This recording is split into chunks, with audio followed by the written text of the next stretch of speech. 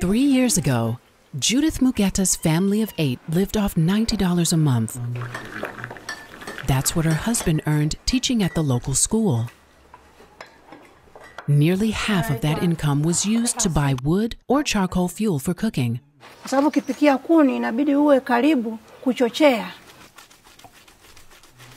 mara umezimika. Hata karibu, kama.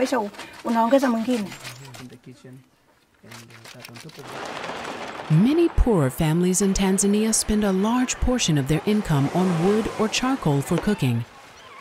It's not just a financial hardship. These traditional fuels destroy valuable trees, while smoky cooking fires cause health problems. Today, all that's changed for Judith and her family because of this. She's using dung from these cows to make an alternative fuel biogas. The dung and water are mixed together and stored underground in a large vat. A chemical reaction creates the biogas, which is piped through the wall and right into Judith's kitchen. No more smoky fires. No more spending the bulk of the family's income on expensive firewood and charcoal. Na ninatengeneza katika hali ya kwa muda mfupi tu hivi, lakini kesho ninapikia masaa ishirini na wakati ninatengeneza tu hivi hapa kidogo. Kwa hiyo mimi nina furaha sana yangu. Low cost, sustainable energy is vital to Tanzania's growth. And women are playing a key role in switching to alternative fuels. They are not only major consumers of green energy, but also budding entrepreneurs. An increasing number of households in Tanzania are headed by women. It's now 30%. And 70% of all agricultural output is produced by women. Judith learned about the financial possibilities of biogas through a multi step process that's specifically geared toward women.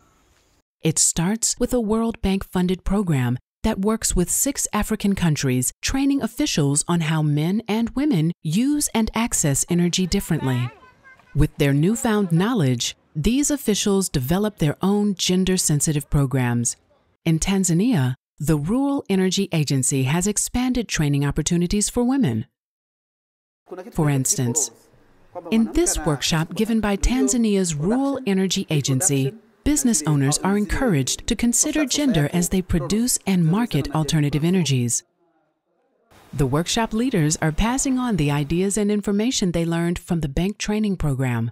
So, training on a government level is leading to real changes in the lives of women on a community level. Using the information on gender differences that she's learned here, Charity Nayava hopes to teach women in her rural village how to benefit from a small hydropower project.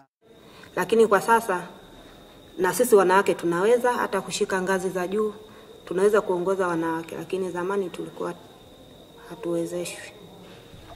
As for Judith, she attended a 10 day Rural Energy Agency workshop where she learned about the money she could save switching to biofuel. She created a business plan and secured a loan of $2,000.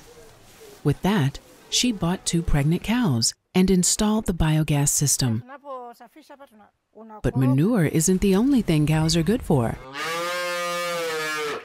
Since she's spending less time tending to the cooking fire, Judith can focus on selling the milk her cows produce.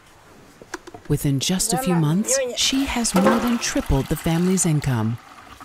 With the extra money, she and her husband are paying the costs of university for their adult children. As a semi retired school teacher, Judith's husband knows the value of education. They want the next generation to have even more financial opportunities.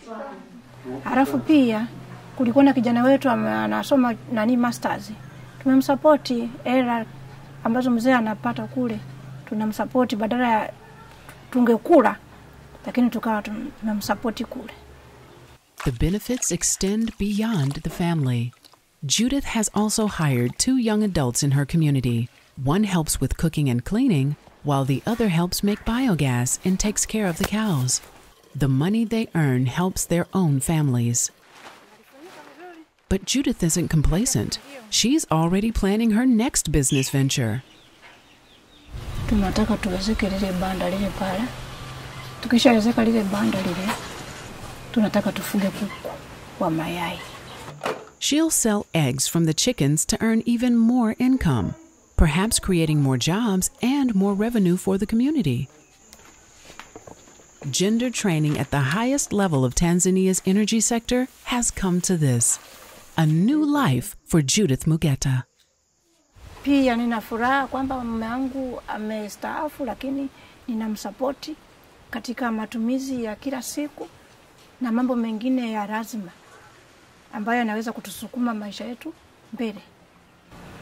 Kwa hiyo sikuwa na wazo kabisa kwamba ipo siku mimi nitajikwamua katika umaskini uliokuwepo ule.